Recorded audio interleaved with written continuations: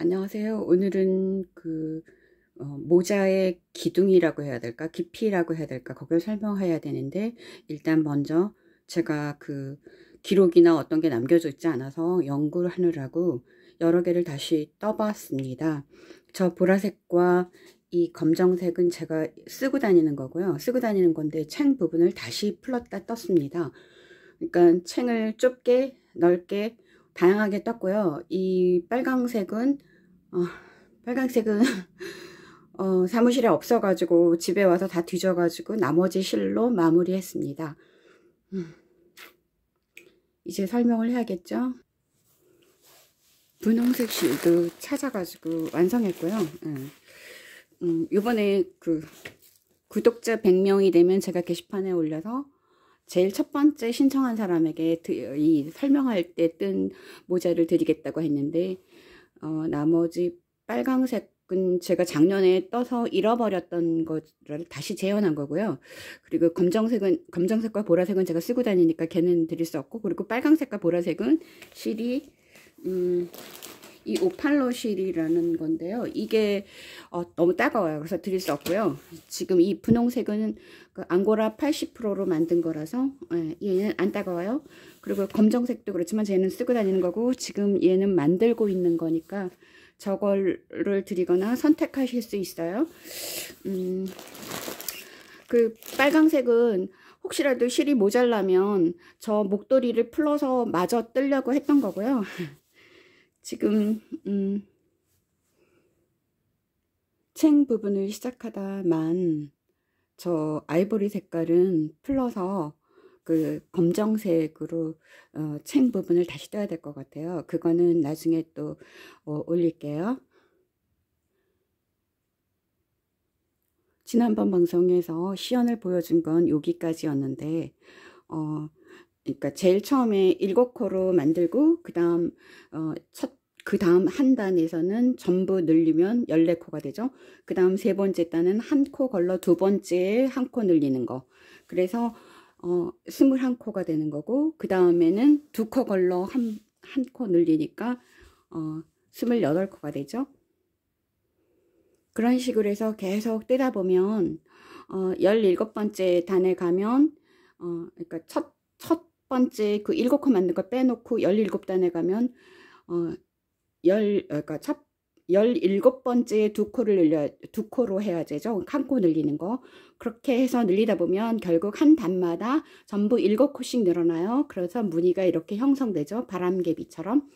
근데 이게 잘 안 보이니까 이걸로 보면 좀 보이죠? 그 무늬가 하나, 둘, 셋, 넷, 다섯, 여섯, 일곱. 이거는 계속 한 개마다, 한 단마다, 어, 한 코씩 이렇게 늘려가서 일곱 코씩 늘린 겁니다.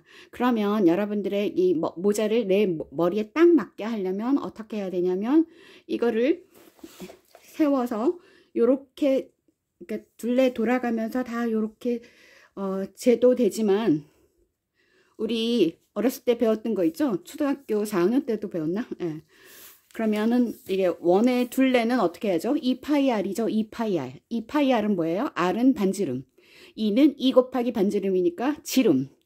그 파이에다가 파이는 3.14 159이 쭉 가지만 일단 3.14로 계산해서 요 지금 가장 중심점 거기에다 이렇게 지나가게 해서 가장 긴 길이를 재보면 이게 지금 13.5죠. 13.5를 갖다가 3.14로 곱하고 그러는데 그 제, 제가 어, 그러니까 13.5 곱하기 3.14 하면 음, 42.3cm가 돼요.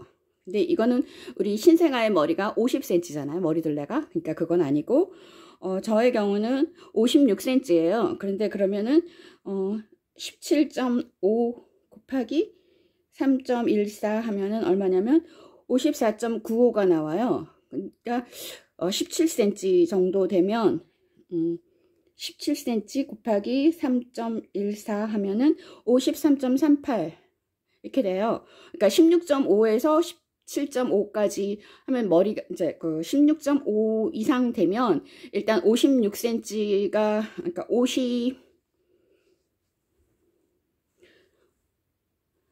다시 말해서 지름이 17cm가 되면 17cm 곱하기 3.14 해서 53.38cm가 돼요. 그럼 이 정도에서 중단하고 이제 기둥을 계속 만들면 됩니다. 네, 그런 이유는 제 머리 둘레가 56cm지만 어, 얘가 이제 그 늘려진 부분에 그 다음을 뜨면 그래도 평면입니다. 왜냐면 늘려진 거라서.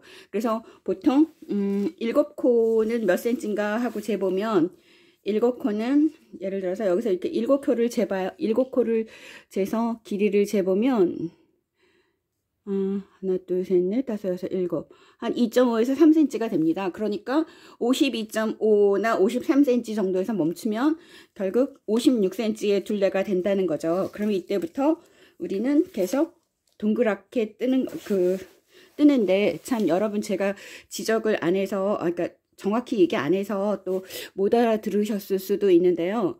이 코를 이렇게 두 개를 다 하는 게 아니라 저는 제일 처음부터 사실은 이렇게 뒤에 코만 잡았습니다. 뒤에 코. 뒤에 코 잡아서 이렇게 뜨는 겁니다. 그리고 얘도 얘는 근데 두 코 다 잡아서 왜냐면 칸을 마감하는 거니까 줄을 이렇게 해서 한 코 늘려서 요거를 여기를 그 또 이것도 이 바로 그 코 뒤에 넣어서 어, 둘 중에 한 코.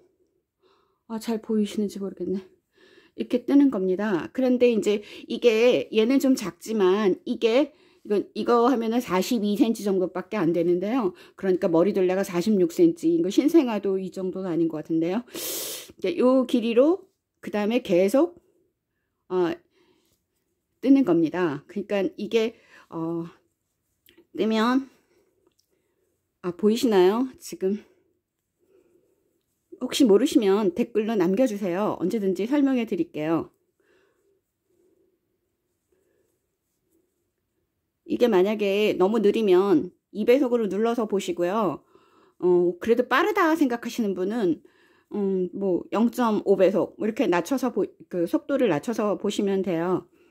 사실 저 뜨개질 어 그러니까 뭐 우리나라 나이라면 7살 음, 그때부터 뜨개질해서 뜨개질 속도 굉장히 빠른데 최근 몇 년 동안은 뜨개질을 별로 안 했어요. 근데 4년 전에 제가 너무나 스트레스 받아가지고 엄청 스트레스 받아서 아 그때 마음을 다스리느라고 이 모자 뜨기를 했었어요. 그때 뜬 모자가 보라색 두 개, 검정색 두 개, 빨강색 하나였어요. 근데 보라색 하나는 쓰고 갔을 때 어느 분이 그거 얼마면 되냐 얼마 들이 주면은 해줄 수 있냐 그러셔가지고 그냥 목도리와 모자를 그분의 모자가 그분의 머리에 맞나 보고선 어, 맞아서 그냥 모자하고 목도리를 드렸습니다. 그랬더니 목도리는 아, 필요 없다 하는데도 그 세트니까 그냥 가져가세요. 그래가지고 드리고 왔었었고요. 그 검정색은 올 11월인가 갑자기 추워졌을 때 잃어버렸어요. 그리고 빨강색은 언제 잃어버렸는지도 모르겠어요. 그래서 와장창 다시 뜨려고요. 근데 어 저도 그 구독자가 아직 조금이어서 100명이 되는 순간 100이라는 숫자는 온전하다는 의미잖아요. 우리 아이들 100일 잔치 하듯이 어, 그렇게 그 100명이 되면 저도 선물 하나 드려야겠다. 사실 제 생각보다는 우리 남편의 생각이었습니다. 100명이 되면 뭘 하나라도 드려라. 근데 뭘 드릴까 고민하다가 사실 제 모자 어, 어디도 없고요. 지금 방송하기 전에 제가 이 이것들도 많이 이렇게 음, 혹시라도 있나 책을 다 뒤져도 책도 못 찾았고 제가 아이들 만들어준 거는 어, 작은 아이 거는 사람들이 다 그 입었을 때 어떤 사람이 달라고 그래서 다 줘버려서 없지만 큰 아이 건 남아있는 줄 알고 아무리 뒤져도 없고요. 그래서 제가 어, 제대로 알고 있었던 그 방법은 지금 모르겠고요. 여기서 진짜 모자에서 중요한 건 챙입니다. 챙이 시작되는 부분에 두세 번 그때의 어떤 노하우가 되게 중요한데 그거를 제가 기록을 안 해놨어요. 언제나도 내가 기억할 수 있을 거라고 생각했고 이렇게 잊어버릴 거라고는 전혀 상상도 못했어요. 나이 때문인지 교통사고 때문인지 모르고는 어, 잘 모르겠지만 어쨌든 까먹었습니다.